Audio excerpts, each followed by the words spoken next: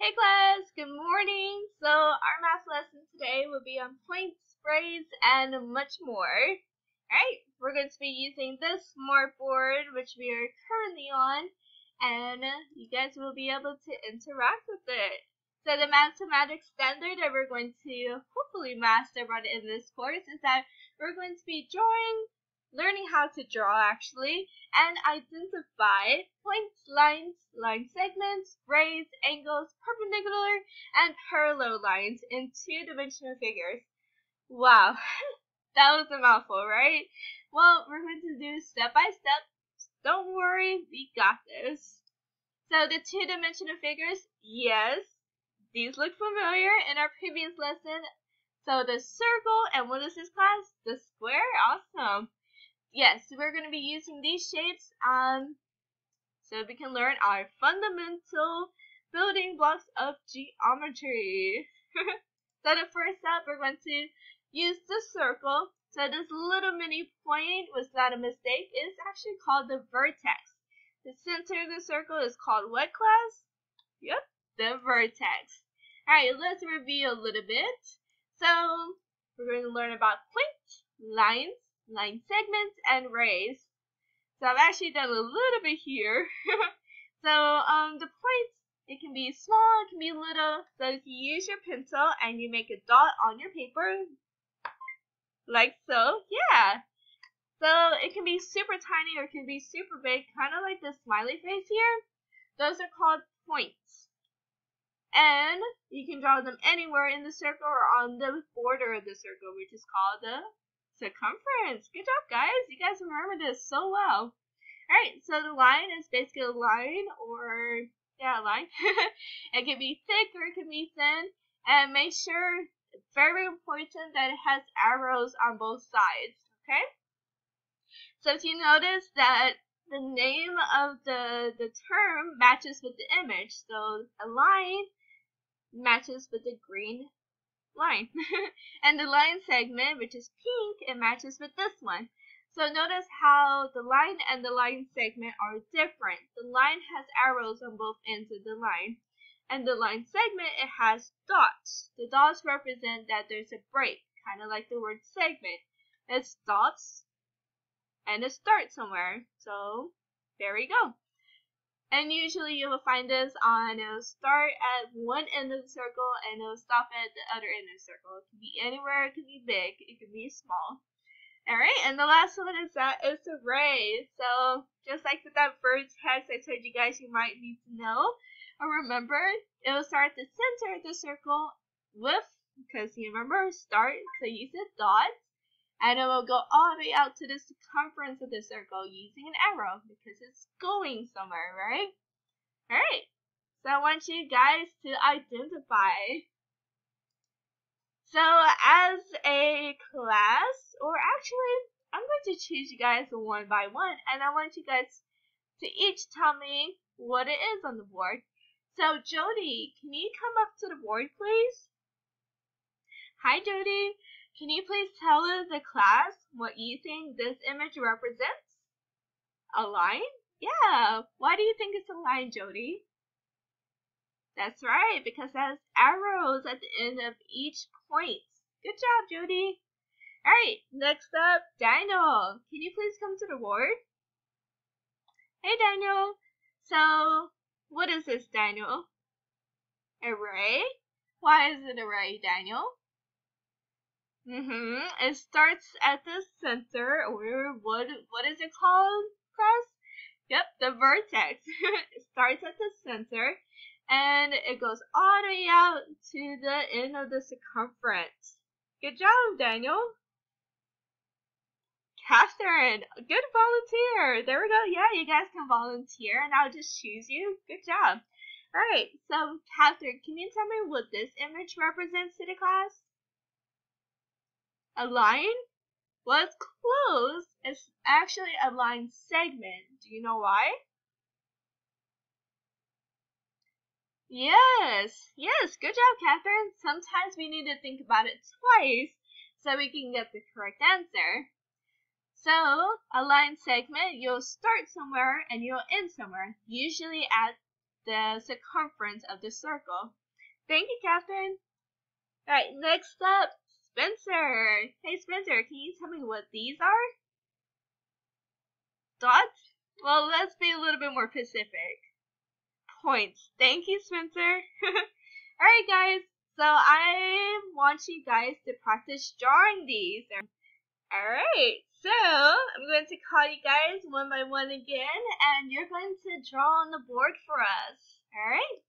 So first up, can I get Gary to come to the board? Hi, Gary. Can you draw a point in this circle for me?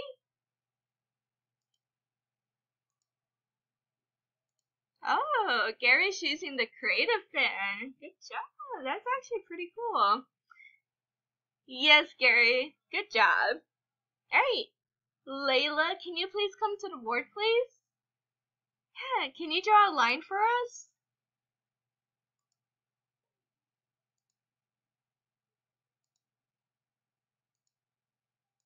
Mm-hmm. Looks good so far. Oh, she's actually choosing her color too. You guys are so creative.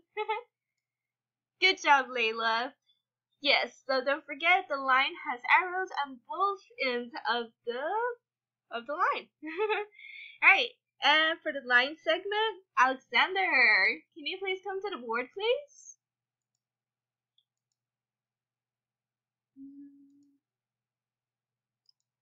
Hey Alexander, are you sure that a line segment have arrows at the end of each? That's right, because they pause. So good job.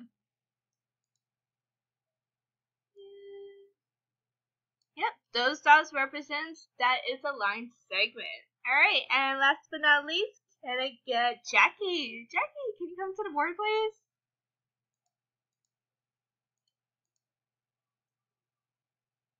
Yeah, you can use the same color. Alright, it's close, but make sure that that ray has an arrow pointing outward. Yeah, because this ray it means that it starts somewhere and it goes on to somewhere. Thank you, Jackie. Alright, so next up we're going to learn about other types of angles and lines using the square. So the types of angles, there's an acute angle, a right angle, and obtuse angle. So a right angle, I'm going to draw it for you guys on the board here. So a right angle, if you see this square right here, that means it is a perfect 90 degree angle. So you'll just draw upward, make sure to point your arrows, and draw it this way. Make sure to point your arrows. And that'll be a right angle because it's 90 degrees exactly. Alright, next one up is an acute angle. So that means it's less than 90 degrees. So we're going to go inside that square. Um, I wouldn't recommend using the stars, but that was the first one I chose. And let's make sure it's an actual arrow. There we go. And last but not least, let's use the actual highlighter. the obtuse angle. So an obtuse angle means that it's more than 90 degrees. So we're actually to come outside the square or the box. Alright, now it's your turn. You guys are going to be practicing on how to identify these types of angles. Alright, so can I get... Oh, we already got volunteers. You guys are so awesome. Can I get Madison to come to the board, please? Hey Madison, can you tell me what number one is? A right angle? Awesome. Perfect right angle. Well, almost perfect by my arrows. and number two, Ethan. Yeah, Ethan, can you come to the board, please? Can you tell me what number two is? An acute angle? Mm-hmm, because it's less than 90 degrees. And number three, can I get Lucas? Yes, so an obtuse angle because it's more than 90 degrees. Alright, let's practice drawing. I know that that's your, um, that's your favorite part, guys. Alright, so we're going to practice drawing some angles. So, let's see. Spencer, can you please come to the board and draw an acute angle? Alright. Oh, I didn't realize how big the arrows were. I mean, how big the line were, but yeah. Good job, Spencer. Yeah, it's less than 90 degrees. Right. Let's see. Charlotte, can you come to the board and draw a right angle?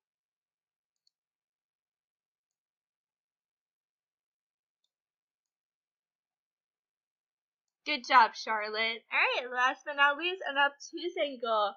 Can Jordan come to the board?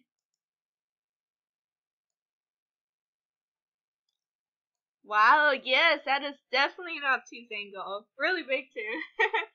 Alright, you guys are doing really good. Alright, and last but not least, let's learn about the types of lines. So there are perpendicular and there are parallel lines.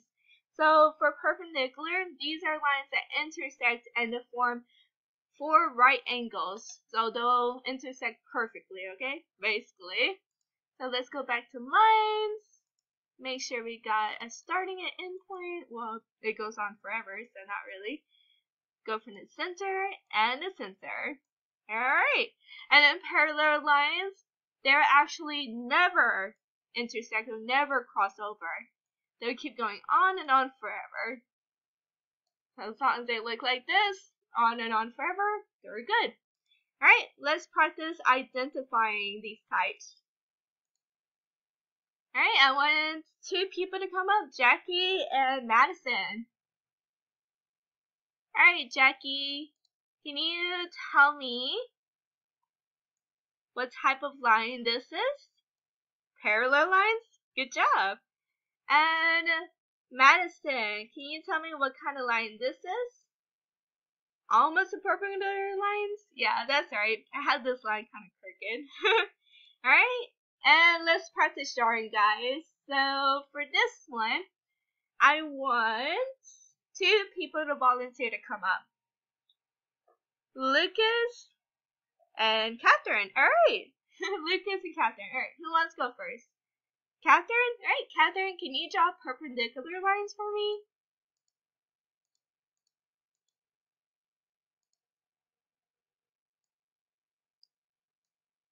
And why those perpendicular lines, Catherine? That's right, they form four right angles. And don't forget, they also it's also because they intersect. Awesome. And then let's see, and then can you can Lucas tell me can you draw parallel lines on the board? Um, okay.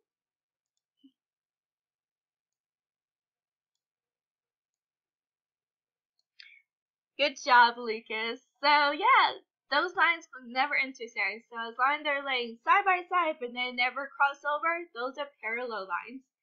Alright guys, so I want you guys to get into your groups and I have a little worksheet with some um little toys. Well, it's not really toys, it's more like um like blocks.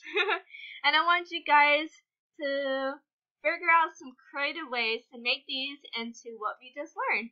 Alright, thank you, and uh, as soon as we're done, I'm going to look over them, and we'll move on to our reading lesson. Thank you guys.